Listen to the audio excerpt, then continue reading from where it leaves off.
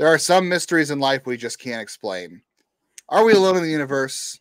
What happened to Amelia Earhart? Is the earth flat? Why did the Guardians get shut out six times in a month, yet still took two or three from the best team in baseball and have the best record in the American League?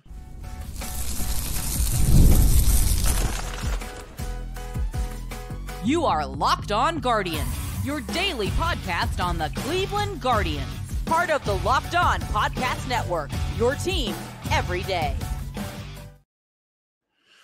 Hello, everyone, and welcome to the show. Today's episode is brought to you by Supply House. SupplyHouse.com is the reliable way to get parts fast. Shop for your next plumbing, HVAC, or electrical job and get fast shipping from coast to coast at SupplyHouse.com.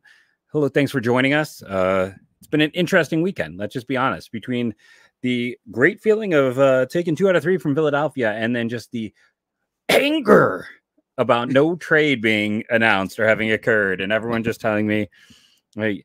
I, it's always it's always fun because somehow Avery always provokes someone in my comments, and then I have 140 replies that I am not part of. But uh, you know that's that's the way of it. For those who do not know me, I am not Avery.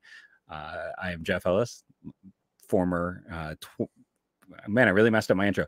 Uh, one of the original hosts here of Locked On for Baseball. I've been here since the beginning uh, of the Locked On Guardians podcast. Before that, I was a national draft and prospect analyst at Scout Scouting 24 7. And before that, I was your 22nd favorite blogger at every Cleveland sports blog that has or will exist. All right, we'll have to find what 22 is. I'm Justin Lada. For the record, I am not a flat earther. I just threw that in there at the beginning of the thing. I do not believe in flat earth. Uh, comment below if you no, no, don't comment that either. Uh, you might have seen me showcasing my work at places like Guardians ooh, Baseball ooh. Insider, the News Herald, and the Morning Journal. I have been getting trolled on that so bad on Twitter every time I make like the Joey Cantillo call up or any other any other prospect news or well, they had to showcase him trade. because they don't have a lot of Everybody, advanced pitching prospects everybody loves it now. They're all like, "Ooh, showcase!" and they're showcasing. Like, I think I'm so glad I've gotten to the point where nobody is seriously saying, "Oh, what if they're showing?" Like, no one's doing it seriously anymore. It's all just to troll me, and I, I love it. That's fine. I love that we are on that side of this argument now. That everyone is everyone's aware, everyone's aware. It drives me insane when it's real. So they love to do it to get my goat, and I am I'm all about that. That is the best way to do it. So keep uh keep chiding me about it because I know you're all joking about it. What's not a joke is the Guardians. I uh, I don't know. Oh, real quick, I want to do a quick shout at the beginning of the show too. We uh, got some nice tweets from a gentleman, Kian in Detroit, um, who listens. He is a Tigers fan, says we do great work. Appreciate that. Even though he's not a Guardians fan, he still listens because he likes to keep an eye on the the division rivals. I told him, I said, I wish uh, there was more fun podcasts after Tigers games because they have been giving the Guardians fits. But the real question, Jeff, is how do the Guardians keep doing this? They have been shut out six times, including Saturday night. I didn't see that game, thankfully. Um, but they have six, they've been shut out six times in this month alone. They've had 11 for the year. Yet somehow they took two or three from Philadelphia. And I know Friday, you know, the Phillies made some errors, but the Guardians were bunting, they were running, they were taking advantage of a poor Philadelphia defense, um, which seems to be one of the things Philadelphia doesn't do well. But that's a deep team. They hit homers, they draw walks, they've got a pretty good rotation. And I know Sunday they didn't face the best pitcher that Philadelphia has to offer because they didn't see Zack Wheeler, they didn't see Aaron Nola, and Ranger Suarez is hurt. But you know, they can't control it. All they can do is show up and, and play who's in front of them. The, the Phillies have been the best team in baseball, you know, record wise for quite a few a few months now, or quite some time. Guardians took two or three, and I, I don't know how. I mean, this team they didn't hit a home run Friday, but they found a way to win. At two today. They, with Ben Lyon hits, and then they hit, and they hit two. So they didn't They needed the home run ball, and it worked out on Sunday. And the only thing I can say is just this bullpen. That's the only I can say. Get the bullpen a lead, and they and they can do anything. But it's just amazing how this team continues to find a way to be resilient and and do things and and win and, and still be exciting despite uh, what's been a tough month. Yeah, uh, you know, Josh Naylor didn't play at all. Uh, apparently, he's yeah.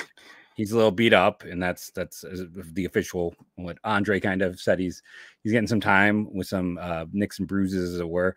The, and that's the story of Josh. He is always hurt, and that would explain why over the last two months he has been kind of a shell of what we saw at the start of the year. His OPS is under 800 now. Like he has just not been the same guy.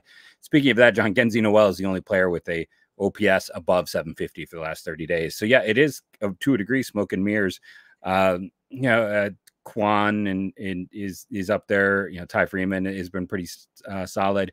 But after that, it's like Martinez 702, 686 for Jose. And then if we go down, 589 for Schneemann, 537 for Fry, 486 for Rocchio. Oh boy, like that shortstop position. And that's why it's it's amazing they took two out of three. Now I will say Jimenez uh, also has been struggling, but he had a great weekend. He really did. Mm-hmm. So it's about guys stepping up. Why, how does this happen? Kwan has been scuffling a bit. I and then he hit the go ahead home run. Uh, Kenzie Noel, listen, he makes baseball go far. But I was listening to the Philly radio broadcast because I was doing yard work today all day, and they were like, "Why are they throwing him anything in the zone?" Like they were just like the announcers were mesmerized by it. And at some point, pitchers, I, I mean, Kyle on that home run, both Allard threw two pitches, both meatballs in the middle of the zone. He'll make you pay. Like that's what's going to be. And someone asked us about it. We mentioned it all the time last week. Like make let him make teams pay until teams figure him out. So he should be playing every single day from here on out. And you know, I'll I'll tell you what. Um, something I absolutely got wrong is his defense is better than I expected. Like he has made a few nice plays. That is something that I, you know, people are like, you know, uh, talk about that sometimes we give ourselves too many laurels. I got his defense wrong, so maybe I got more wrong there. And I want to be wrong, right? I, I would love if he could be a with his natural power and every day. We'll we'll see. Maybe he makes adjustments, but um, right now I've been wrong on Noel, and I'm very happy to be wrong. Uh, I'm hoping the rest of this team will turn around. We got so excited about Bo Naylor turning around, and now he's back in the toilet bowl again. So, yeah, the, I think the bigger thing from all of this, um, you know, it's great. Cantillo made his debut. I feel like you were the first one to really, before it was official, you pointed out that it was likely happening. So, some credit to, to Justin there, who had some initial tweets. Maybe didn't get the credit he deserved for it. But uh, I, I think a the big takeaways from this weekend is again the bullpen. Like the Phillies broadcasters were mesmerized by our bullpen, and two, some trades need to get made. Like it, it can't be sitting on your hands or being afraid. Yeah, I'll get to I'll get to the trade stuff here in a second. I want to echo also what you said about Noel. Like he's been, I don't know if he's a serviceable right fielder long term, he's definitely definitely better at first base. I never doubted his defense at first base, but he has been better in right field than I would have assumed. Like he's not Oscar, he's not uh, J Rod or, or, Johnathan Rodriguez. Those two guys were not are not good defenders out there. I don't know if you're ever going to call him plus. You definitely want to pull him um, when you have a lead late. But again, he makes teams pay when they make mistakes. That's that's the best thing they can do right now.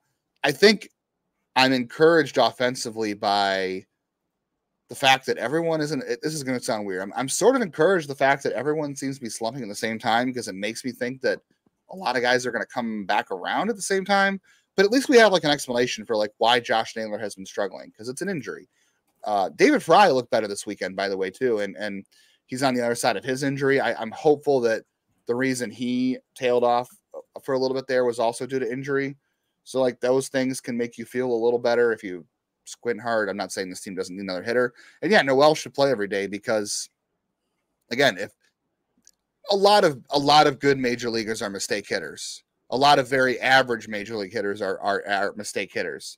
A lot of guys have had long careers just being mistake hitters. And I think Noel is a good fit for that because sometimes that's going to happen. Now it's going to happen less in the playoffs, but the one thing the Guardians have lacked is a guy who can make a mistake turn into a big one from other teams um, which is what they didn't have in 2022. They've hit more home runs this year. You, you don't get many in the playoffs. But if someone in the playoffs makes a mistake, who on this team is going to make that make that pitcher pay? You know, Jose will probably, a healthy Naylor can, Steven Kwan certainly has shown he can, but Jhonkensy Noel, if he gets a mistake pitch, it could turn the tide of a game like it did on Sunday. So that's reason enough to start him right now while this team still needs another bat in the trade market, which we'll get into. Um, it's but it's worthy enough for him for him to start right now. So I agree 100. percent The other thing I want to say too is I Cade Smith right now is the new Andrew Miller.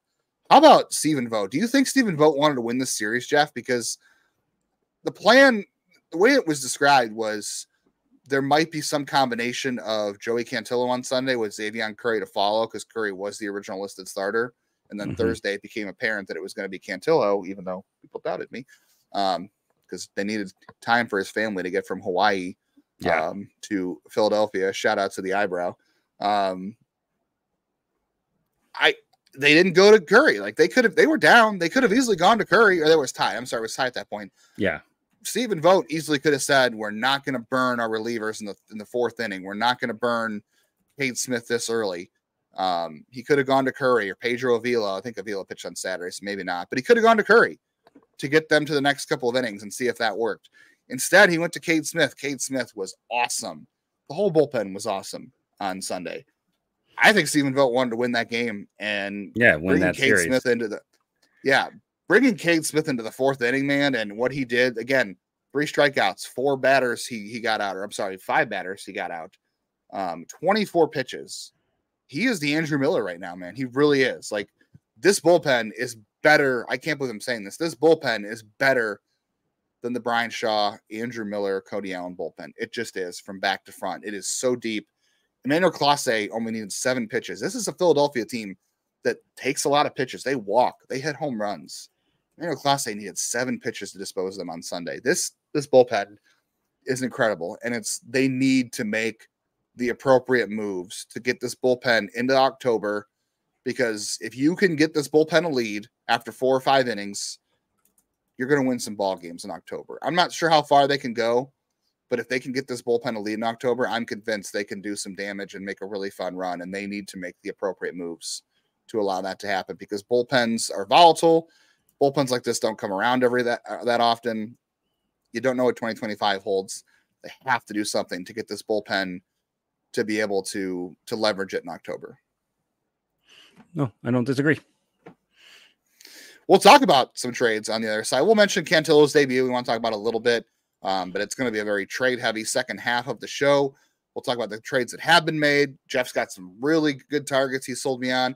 If Jeff was going to sell me something, Jeff should be selling, be a salesman. He should quit his job in teaching because he, I mean, if, he just sold me on a bunch of different players to trade for. So we're going to talk about those guys.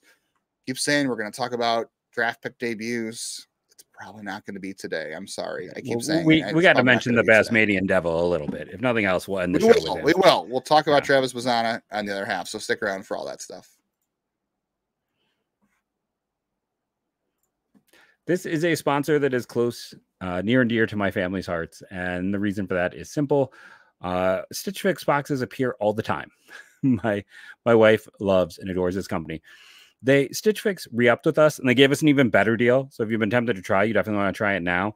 Uh, you get, and I'll get to that deal in a second. But my wife loves this product so much, she wouldn't change. She wouldn't even when they upgraded our deal she didn't want to give up her stylist. Her stylist, as she says, it is just it's easy mode for finding a new wardrobe. If you are busy, if you're like me and you have kids and job and you just don't have time, Stitch Fix is made for you. They're gonna help you upgrade your wardrobe. And the nice thing is they'll send you something and you keep what works, you send back what doesn't. Style that makes you feel as good as you look. Get stitchfix.com Get started at stitchfix.com slash MLB and get $20 off your first fix. That's stitchfix.com slash MLB for $20 off. Stitchfix.com slash MLB must redeem within seven days of sign up. Offer does not include kids' fixes.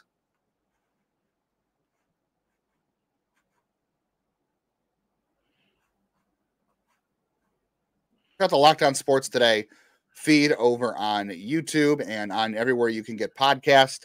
Going to see a lot of local hosts this week when it comes to the trade deadline. So if you want to hear about trades around the MLB, if the Guardians make a deal, we'll be on there. Check out the Locked On Sports Day podcast for local opinions from the hosts that know your team the most. Part of the Locked On Podcast Network, your team every day. Real quickly, Joey Cantillo. I don't know if he's going to stay up. I guess I'm interested to see what happens after this, but um, I would say as expected. I was excited for Joey just because we've seen him in the minors. He's been here a while. He's a good kid and has really good upside. I mean, the stuff is quality. He misses bats with the changeup.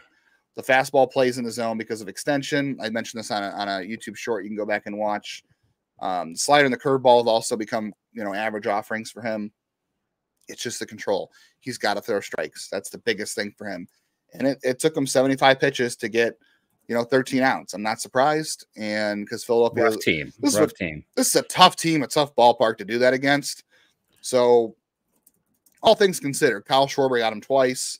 He's lucky that the walks didn't burn him a little more, but still someone I'm excited about. I'm just curious to see what happens to him next time through. But um, I don't know, good sign. I'm, I'm I was glad to see him, and I hope uh, he got through that okay. Yeah, uh, this was a rough debut. Like, I can't think of a maybe a worse team to debut against when you're uh, have some No. problems with walks and home runs, and he he battled. Uh, at the end of the day, I think that he he should be here to stay because if we're being honest, like I, Allen appears to be working on stuff. He's just kind of being kind of mediocre even in AAA. And Triston McKenzie, I think you're right. I think he has the yips. I, I think he is. I mean, his, his two starts. last two games. I mean, he looks broken right now, and I don't it it. And by all accounts, it's not surgery. And again, he wouldn't be gaining velocity if he needed the elbow surgery necessarily. So it's the mental game is just cracked open on him.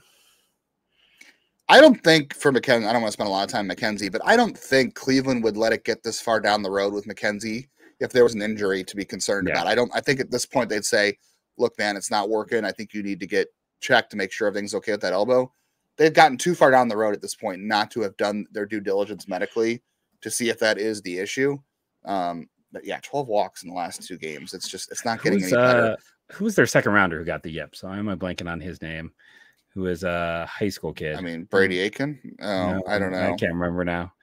If you remember, I can't remember either. was- It was wasn't he like Har, uh, Har, Harmon Killebrew's grandson too? I can't remember what his name. was. Oh, Carter, not Carter. Uh. Grant, Grant, Grant, Yeah, I think it was Grant something.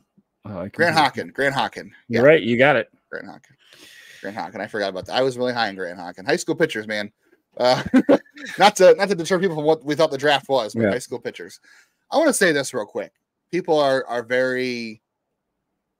There's a lot of negative chatter about trade the trades for Cleveland. They haven't done anything yet. There's been no rumors. One thing, two things we know. Cleveland's never mentioned in rumors, almost never. And I want to get to one here in a second. Um, Cleveland's never mentioned in rumors. I mean, heck, nobody knew what they were doing in the draft until 15 minutes before when Jeff got the text. Nobody knew that.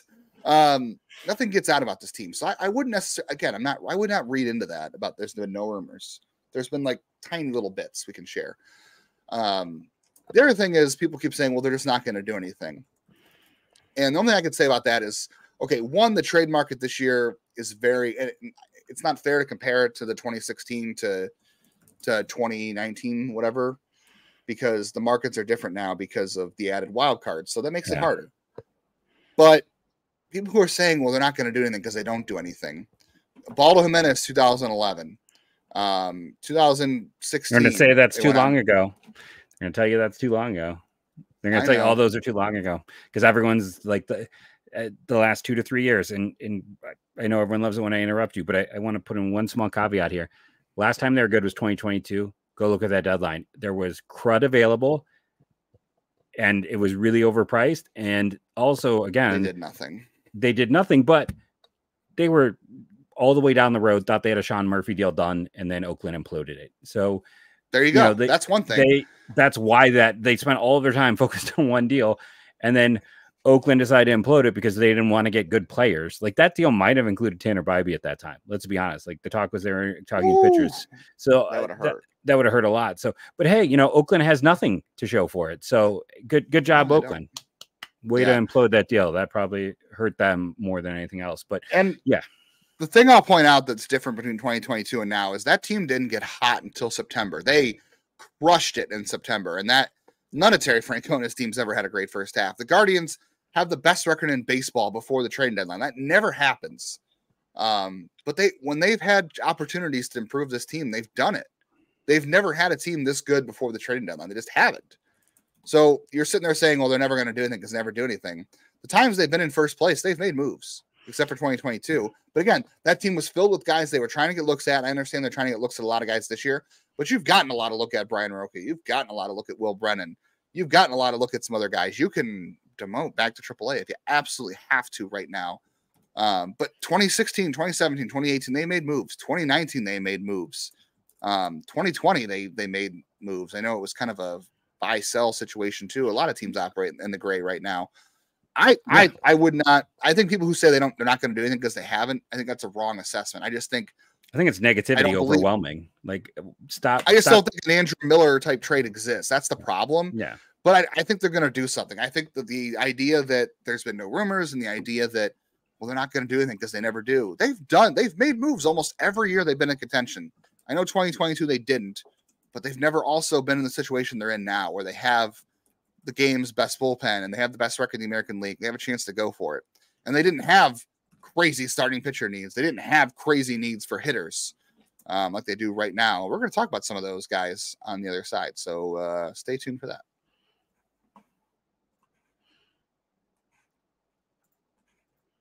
Get supplies from the site that is made for skilled trades, like the Guardian, skilled traders, hopefully.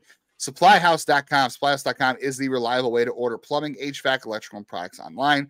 Their easy to use website is packed with helpful resources and the latest product info to help you get the job done right. You can get an inventory over 200,000 parts. That's bigger than this year's trade market.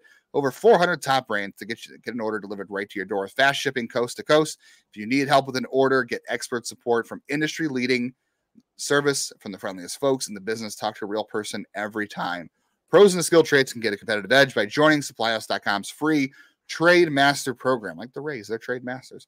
Every trade master gets access to a dedicated phone line, free shipping, discounts on every order. Join the thousands of trade pros already benefiting from their free membership at supplyhouse.com slash TM and order plumbing, HVAC, electrical supplies from anywhere with just a few clicks at supplyhouse.com. Guardians and Detroit, they're back at it on Monday. You can check that out in your Sirius XM app when it's 24 hours from the trading deadline when that thing will kick off. Um, Jeff, what do you want to do real quick? Do you want to talk about the reactions? Do you want to throw out the guys you have been thinking about? What do you want to do first? Um, let's do reactions. People like reactions. Reactions. Okay. My first reaction, I, we saw from I think uh, I think Zack Meisel said it, and I think uh, Cleveland.com said it. The Guardians made an offer for Randy Arozarena, and I am not shocked. that It is not better than the Seattle yeah. deal. I think the Rays did great in that deal. I don't think Cleveland had the players that's that the Rays wanted because I don't. You're not you're not targeting positions. You're not targeting um, rankings. Nobody goes by rankings, and and like the rankings are fun for people like us. And, and the MLB. Dot, I got to interrupt you. MLB.com yeah, rankings right now are crap. I love Mayo. I love Callis. They are the goats. They are Mount Rushmore for me. But they, understandably, it's a two two to five man operation. They are focused on the draft. They broke all the signing uh, draft stuff, so they haven't updated their ranks. The reason these guys are low on ranks, you know, at the start of the year and are now being traded is because they're not low on ranks. They used this year and really showed off. That's why a bunch of guys who were in the 20s got traded because they didn't have the reps, the experience to see them. You know, both of these prospects that Seattle got are guys who would have been top 10 prospects in Seattle system if you did a re rank, in my opinion. Uh, just great. And here's the thing same thing we talked about in the draft. Uh, it's traits, it's not performance. It's, it's very like this whole weekend, Tampa Bay has been hunting down guys with vertical break, extension, and I'm blanking on the other term, so I'll be quiet and let it go to Justin. vertical approach angle. Yeah, that's the other thing. And the other thing too is you can't just say, well, the Rays got the 10th best prospect for the Mariners system, so the Guardians should just give up their ninth. Doesn't work like that. The Mariners got a deeper system, and um, internal evaluations are very different. And all, again, all these other things just you can't just they're not one to one. Like there's no way of saying like, oh well, they should just give the ninth guy. They should have gave up you know this outfielder if that's what they wanted because they want trades. They can't necessarily the ask might be totally different what what the the oh, what Oakland got for Sean Murphy was a probably a totally different ask from what they were asking for Cleveland because systems are different. They're going to want different players, so you can't just sit there and well, how does this trade compare to this trade or this player or why didn't they just give up the ninth ranked player to beat this offer? Doesn't doesn't add up like that because internal rankings are way different and and those teams don't care what they're ranked publicly. It's just fun for us. Um, that being said, the Rays knocked out of the park. I think on that trade, I don't think Cleveland had the traits of players in their system to match that. I would have liked a Arozarena. Honestly, I know, I know you're not the biggest fan of him. He's a poor defender. Fit. He is. So you would have probably likely had to move Kwan to center, where he takes a step down defensively. He's not going to carry the same defense that he is in left to center. And then a Arozarena is a poor defender in left. So you're denigrating two positions by doing that. I think poor, a Arozarena offensively poor. is maybe the worst defensive left fielder in baseball. yeah. I think def- I think offensively he would have been a fit. He has yes. control. He's gotten better. Um, so that's why they made the offer, I think. But at the end of the day, I think what Seattle gave up. I mean, I'm not saying they overpaid yeah. for him. I think I think they paid the right price for him. But I think I think the Rays just got a really great return, and I don't and think Cleveland had the right pieces to fit that. It would not shock me if the player to be named later is a player who went in this year's draft relative draft. I think that's that's true. I think that is what this is, and it wouldn't shock me if if these two teams had some conversations beforehand and Tampa, you know, decided yeah. to do a deal specifically to a maybe list. get another player from yeah. the draft. The Jazz Chisholm one, I I don't think Cleveland had any interest in Jazz Chisholm. I didn't have any interest in Jazz Chisholm. I think I think Jazz Chisholm has star quality traits, not traits, yes, traits, physical tools.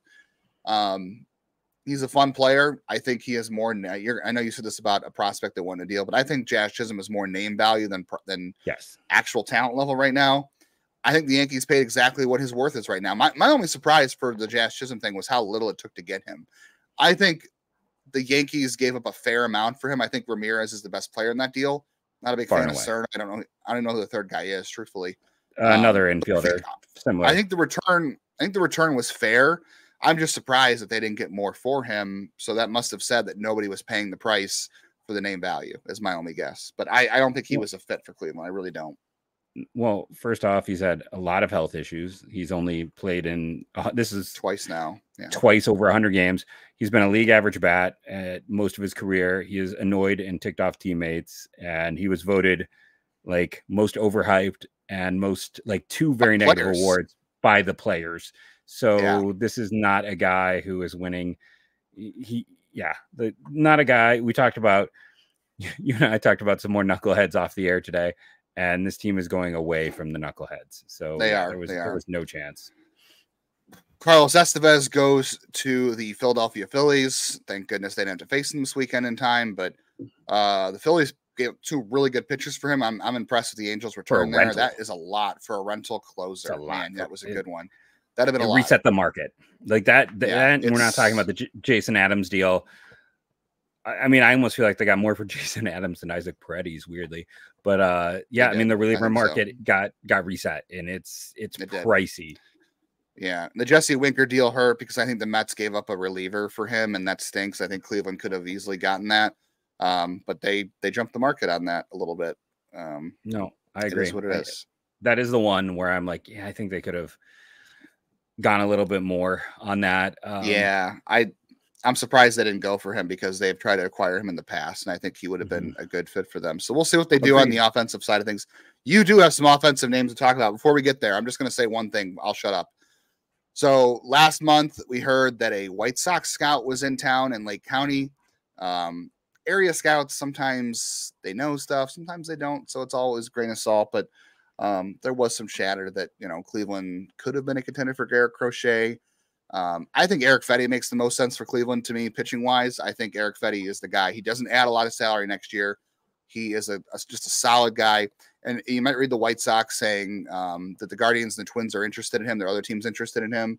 And the Cardinals supposedly they asked for Jordan Walker and they said no. So the Cardinals are interested. That tells you where the market is.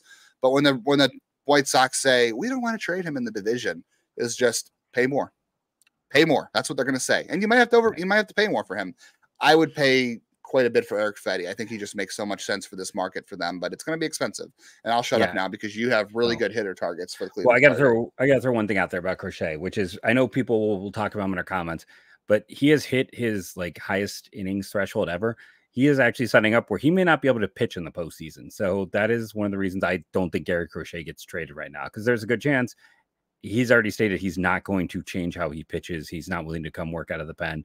So he's like setting up a situation where if you trade for him, that's great, but he's not going to be able available for the postseason. Uh, two targets. Let's talk about the least likely one. Uh, everyone's focused on Brent Rooker in Oakland, but you're missing the boat. The real star there, the guy to look at, the player you want to get is Lawrence Butler. Why? He plays a really good right field. He has played some center field. He's been one of the hottest players in baseball. He runs well. He's 24 years of age. I don't know if they would shop him or not. Uh, Westlake High School in California. We know that's a, a high school that Cleveland heavily scouted. I mean, he's doing it all right now. If if you're missing on, if you're everyone asks me about Brent Rooker, I'm sorry, you're doing it wrong. You should be asking about uh, Lawrence, Lawrence Butler, Butler, who has I'm lower BABIP as well. Yeah, he's he looks like borderline star in the making. Again, he's 24. He's got a ton of control. You know, I'm willing to to sit there and and make you know, it's like okay, you guys want DeLauter and Ralphy, yeah, I'm, I'm willing to do both. I'm willing to, and Ralphy Ooh. is hard, I know, but it's going to be expensive for a guy like this. Man, the first name didn't hurt me, but the No. second name. uh, But And- again, this is what people should be taught. This is I, I'm interrupting you now, but this No. is what you got to remember with trades. Is anytime you say, "Well, give up Sandlin, give up Morgan," who cares? If the trade doesn't make you flinch like it just did to me, where when he said Ralphy and DeLauter, then it's not a good enough return because the return has to hurt a little bit. Yeah. So that's that. That tells you right there that that trade should get get things going if they really were interested in Butler. So anytime you say, "Well, just trade Sandlin and Morgan and Tena," it's like We're going to talk about trading Sandlin in a bit. Maybe, yeah. if it doesn't, yeah, if it doesn't make you flinch and say, "Wow, that might hurt to trade him," it's not probably not going to work. Just remember that. Yeah, and then I think the other guy that's really really interesting right now is Josh Smith in Texas because he's not going to have a job soon.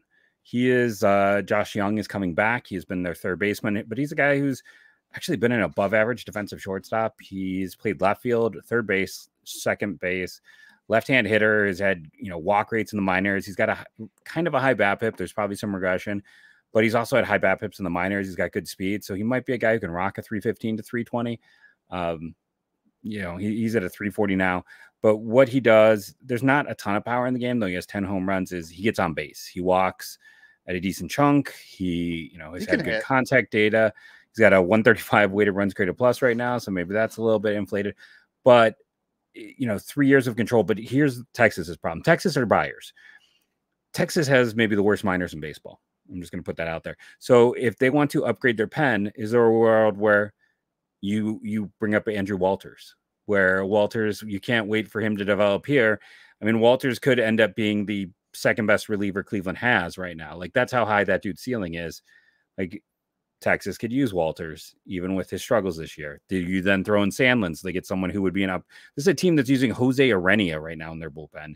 Uh, and then is it another piece, you know, to replace him? Is this maybe where Gabby Arias goes as a third piece because then they have someone who can be that fill in that that does the Josh Smith role um, and gets a new start. I, you know, I don't know if that's enough, but for a Texas team, they don't. I don't think they're trading Sebastian Walcott for relief help. And I don't know. We could always look at Cleveland's pen and see if there's someone better than Sandlin uh, in terms of the team. But I, I mean, I'm not trading. I mean, it, maybe this is where it is. Maybe it hurts more, but it's like I mean, I'm willing to consider Hentges in a deal like that because of Herrin, Smith, Gaddis, Clase. I'm trying to avoid those guys. Maybe this is Hentges. Put of, Cantillo uh, in the bullpen. Yeah. You know, Yeah, maybe it is maybe. Hentges, but I and the nice thing is because he's an on base guy. I know we're running out of time. Uh, is the fact of the matter that uh, you know maybe he's that perfect guy to put in the two hole because he runs well, he gets on base, and then you've solidified the top of your lineup and you put him at short, and we get out of the black hole that is currently there. Yeah, they need to make some moves offensively. They need to make moves in general. This is a gen. This is this is not a. It's a generational bullpen in 2024. It's not a generational bullpen throughout the generations. It's a generational bullpen in 2024.